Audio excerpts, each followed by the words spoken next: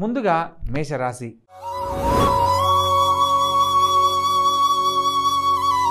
ఈ యొక్క మేషరాశి జాతకులను కనుక మనం పరిశీలించినట్లయితే అనుకున్న పనులను ఎంతో చాకచక్యంగా చేయగలిగిన సామర్థ్యం ఈ వారం ఏర్పడుతుంది.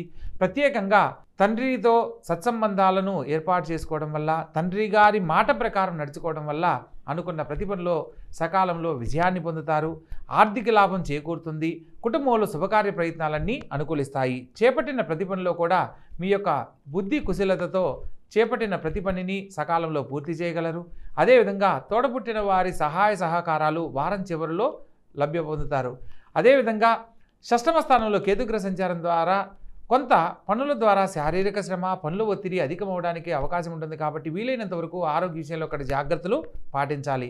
లాభస్థానంలో శని సంచారము స్వస్థానాధిపతి సంచరిస్తున్న కారణంగా ఆర్థిక లాభం చేకూరుతుంది.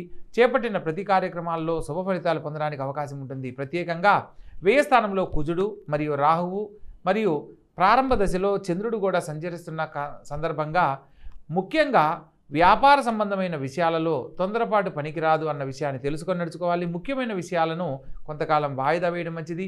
తల్లిగారి ఆరోగ్యం పట్ల జాగ్రత్త వహించాలి. ప్రత్యేకంగా దూర ప్రాంతాలకు వెళ్ళాలనుకొని ప్రయత్నం చేస్తున్న విద్యార్థులకు చక్కని అవకాశాలు లాభిస్తాయి.